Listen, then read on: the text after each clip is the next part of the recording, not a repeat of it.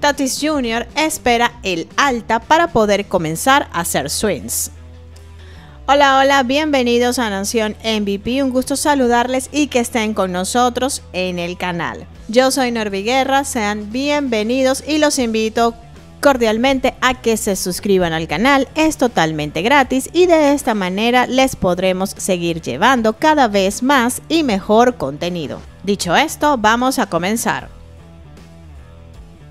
El dominicano Fernando Tatis Jr. saltó al terreno el sábado para tomar algunos roletazos, como parte de la rutina de entrenamientos previos al juego de los Padres de San Diego contra los Cerveceros de Milwaukee. El cañonero está haciendo todo lo que está a su alcance para mantenerse en una condición apropiada para jugar béisbol, mientras su muñeca izquierda sigue sanando. Sin embargo, el campo corto no ha recibido el alta aún para hacer swings, el último paso necesario para progresar.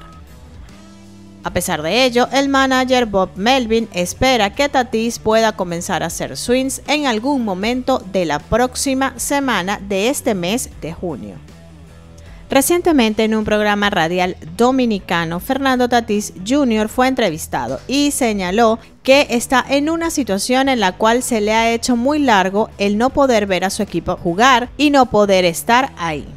También añadió que lo que sigue para él es ver picheos y tomar un par de turnos, así como sostener varios juegos simulados para poder entrar en ritmo, por supuesto después de que reciba el alta médica.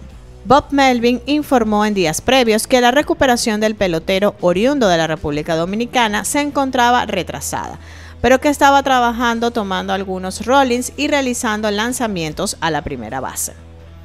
Cabe recordar que Fernando Tatis Jr. no ha podido hacer su debut en la temporada 2022 de las grandes ligas con San Diego.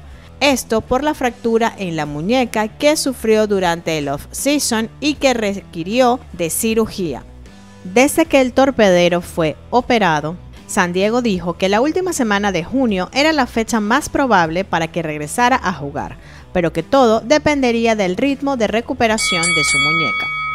Sin su mejor jugador, San Diego tiene marca de 30 victorias y 2 derrotas, válida para ocupar el segundo lugar en la división oeste y el primer puesto de comodín para los playoffs de la Liga Nacional pero los padres han perdido cuatro juegos consecutivos y siete de sus últimos diez.